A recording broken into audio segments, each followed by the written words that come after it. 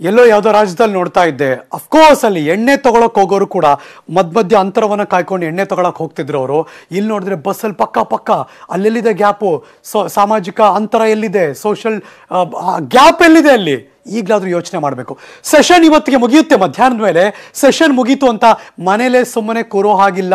ಜನರೇ ಮುಖ್ಯ, ಜನರ ಕಷ್ಟ ಸುಖವನ್ನ ಕೇಳಲೇಬೇಕು.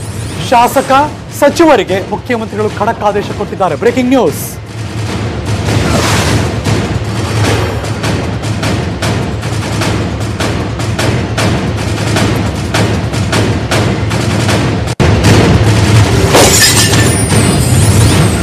ಇನ್ನೇನು ಕಳಪ ಇವತ್ತು ಮಧ್ಯಾಹ್ನ ಮುಗೀತು? ಹಾಗಂತ ನೀವು ಆರಾಮಾಗಿ ಹೋಗಿ ಮನೇಲಿ ಕೂತ್ಕೊಳ್ಳೋ ಹಾಗಿಲ್ಲ. ಜನರ ಕಷ್ಟ ಕೇಳಬೇಕು.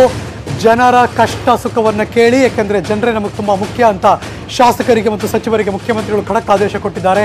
ಕಲಾಪ ಮುಗೀತು ಅಂತ ಸಚಿವರು ಆರಾಮಾಗಿ ಕೂತ್ಕೊಳ್ಳೋ ಹಾಗಿಲ್ಲ. ಪ್ರತಿ ಜಿಲ್ಲೆಯ ಜವಾಬ್ದಾರಿ, ಉಸ್ತುವಾರಿ ಸಚಿವರು ನೋಡಿಕೊಳ್ಳಬೇಕು. ಜಿಲ್ಲಾಧಿಕಾರಿಗಳ ಜೊತೆ ಕೂಡಬೇಕು. ಯುದ್ಧೋಪಾದಿಯಲ್ಲಿ ಕೆಲಸವನ್ನು ಮಾಡಬೇಕು. ಶಾಸಕರು ತಮ್ಮ ತಮ್ಮ ಕ್ಷೇತ್ರಗಳಲ್ಲಿ ಇರೋದಕ್ಕೆ ಸಿಎಂ ಸೂಚನೆ ಕೊಟ್ಟಿದ್ದಾರೆ. ಅವ್ರ ಕ್ಷೇತ್ರದಲ್ಲಿ ಇರಬೇಕು. ತಾಲೂಕು ಮಟ್ಟದಲ್ಲಿ ಕೆಲಸ ಮಾಡಿ ಸಚಿವರು ಹಾಗೂ ಶಾಸಕರಿಗೆ ಮುಖ್ಯಮಂತ್ರಿಗಳು ಈ ಮೂಲಕ ಸೂಚನೆ ಕೊಟ್ಟಿದ್ದಾರೆ. ವೆರಿ ಗುಡ್ ಗುಡ್ ಇನಿಷಿಯೇಟಿವ್ ಈ ಕ್ಷಣ ಬರ್ತಾ ಇದೆ. Breaking news